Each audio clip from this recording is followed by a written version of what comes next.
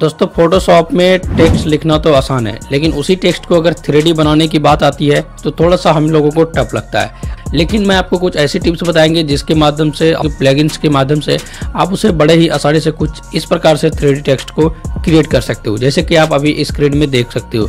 तो कुछ इस प्रकार से ही आप अपने फोटोशॉप में थ्री टेक्स्ट बना सकते हो। तो अगर आप इसको सीखना चाहते हो डिटेल में तो आप वीडियो को शुरू से लेकर लास्ट तक देखें। बड़े ही आसान तरीके से किए जाते हैं दोस्तों तो घबराने की ज़रूरत नहीं तो वीडियो को शुरू से लेकर के लास्ट तक आप ज़रूर देखें। तो चलिए आज की इस वीडियो को शुरू करते हैं। तो दोस्तों फोटोशॉप में थ्री टेक्स्ट लिखने के लिए मुझे फोटोशॉप के सीसी वर्जन में जाना पड़ेगा। तो मैं यहाँ से अपना सीसी वर्जन को ओपन कर लेता हूँ। तो यहाँ पर देख सकते हो फोटोशॉप का सीसी वर्जन हमारा ओपन हो चुका है। और अब यहाँ पे क्या करेंगे थ्री टेक्स्ट को लिखने के लिए? सबसे पहला स्टेप ये है कि मुझे यहाँ पे कोई भी एक न्यू पेज लेना पड़ेगा। तो न्यू पेज लेने के लिए सिंपल आपको फ़ाइल में चले जाना है और उसके बाद न्यू पे क्लिक करना है। और यहाँ से आप कोई भी साइज़ का यहाँ पे एक आपको ले लेना है पेज जो कि मैं अभी यहाँ पे साइज़ ले रहा हूँ। इसको मैं इंच में कर लेता हूँ। और उसके बाद रेजुलेशन में आप यहाँ पे 100 ले सकते हैं। और उसके बाद यहाँ पे मैंने एक न्यू पेज ले चुका हूँ। और यहाँ पर क्या करना है, मुझे सबसे पहले मुझे कोई टेक्स्ट लिखना है। तो यहाँ से टूल्स बार में मुझे जाना पड़ेगा और यहाँ पे टेक्स्ट टूल पे सेलेक्ट करेंगे। और यहाँ से मैं यहाँ पे टेक्स्ट लिख लेता हूँ। यहाँ पे हमने जय जवान, जय किसान लिख लिया है और इसको मैं थोड़ा सा इसको गैप दे देता हूँ इसके अंदर बीच में। और उसके बाद इसको मैं इस प्रकार से पकड़ के सेंटर में ले आता हूँ और इसका जो यहाँ पे टेक्स्ट का फॉन्ट है, इसको मैं यहाँ पे चेंज कर देता हूँ। तो कुछ इस प्रकार से मैं अपना फॉन्ट को लिख चुका हूँ और इसका यहाँ पे मैं कलर चेंज करने वाला हूँ। इसका कलर चेंज करने के लिए आपको यहाँ पे अल्ट एल वाई आपको भी प्रेस करना है, उसके बाद यहाँ पे कलर का ऑप्शन आ जाएगा। आपको यहाँ से जो भी कलर आपको चाहिए, वो यहाँ से आप कलर को चेंज कर सकते हो। लेकिन यहाँ पे मुझे ग्रेडियंट्स कलर लेना है तो ग्रेडियंट्स कलर में जाएँगे और कोई भी कलर आपको यहाँ से सेलेक्ट कर लेना है। उसके बाद यहाँ पर देख सकते हो, मैं यहाँ पे ग्रेडियंट्स कलर को ले लेता हूँ। तो मेरे पास अभी ग्रेडियंट्स कलर है, यहाँ पे मैंने ओके कर लेता हूँ। और स्ट्रोक में मैं यहाँ पे एक वाइट कलर का एक स्ट्रोक दे देता हूँ मैं, ठीक है? तो व्हाइट कलर का स्ट्रोक दे दिया हम यहाँ से। और उसके बाद इसका बैकग्राउंड का कलर चेंज करने के लिए मुझे क्या करना पड़ेगा? बैकग्राउंड कलर में जाके डबल क्लिक करना है। ओके करना है यहाँ पे। और यहाँ से नीचे में एक इफ़ेक्ट का ऑप्शन मिलेगा। और यहाँ से आपको ग्रेडियंट्स ओवरले के ऑप्शन पे क्लिक करना है। और यहाँ से कोई भी कलर आपको सेलेक्ट कर लेना है। तो फ़िलहाल मैं यहाँ से डबल कलर को सेलेक्ट करता हूँ। और नीचे वाला कलर को यहाँ पे मैं इसको थोड़ा सा हल्का ब्लूइश कर देता हूँ मैं।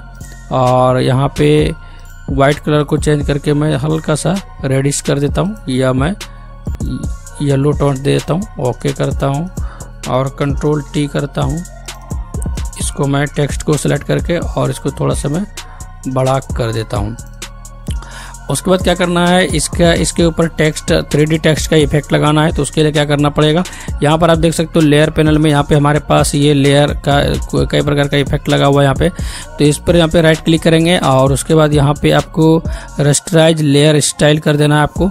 अभी यहाँ पे ये हमारा टेक्स्ट जो है रस्टराइज हो चुका है और अभी यहाँ पर हम थ्री टेक्स्ट को अप्लाई करने वाले हैं।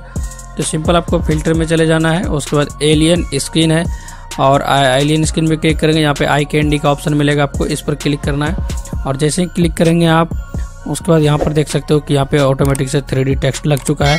अब यहाँ पे आप जो भी कलर आप लेना चाहते हो, वो कलर आप ले सकते हो, ठीक है? तो फ़िलहाल यहाँ पर आप देख सकते हो कुछ इस प्रकार से हम यहाँ पे लगा चुके हैं। और इसका अगर मैं कलर यहाँ से चेंज करना चाहूँगा तो मैं यहाँ से कलर को भी चेंज कर सकता हूँ, जैसे कि आप देख सकते हो। और येल्लो स्टोन को भी मैं हल्का सा कम कर देता हूँ, देख सकते हो।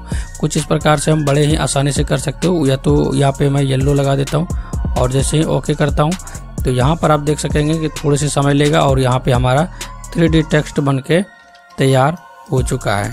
तो कुछ इस प्रकार से मैं यहाँ से थ्री टेक्स्ट को बना सकता हूँ बड़े ही आसानी से। तो कुछ इस प्रकार से आप थ्री टेक्स्ट बना सकते हो। कंट्रोल टी करेंगे और इसको थोड़ा सा हम इस प्रकार से बड़ा कर देंगे।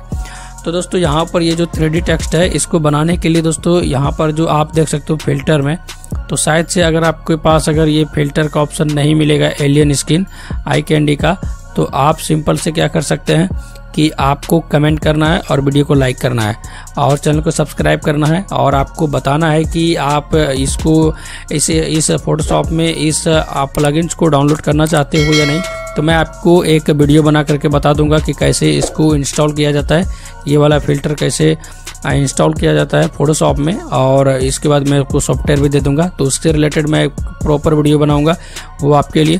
तो आप हमें कमेंट ज़रूर कर देना। दोस्तों फोटोशॉप से रिलेटेड इसी प्रकार के नए नए टॉपिक्स पे वीडियोस देखने के लिए हमारे चैनल को सब्सक्राइब करें। बेल आइकन को प्रेस करें। नए नए वीडियो की नोटिफिकेशन सबसे पहले पाने के लिए। दोस्तों आई होप कि वीडियो आपको बहुत ही ज़्यादा पसंद आया होगा। वीडियो अगर आपको पसंद आया हो तो वीडियो को लाइक करें, अपने दोस्तों के साथ शेयर करें। मैं मिलता हूँ एक नई वीडियो के साथ। तब तक के लिए जय हिंद, जय भारत।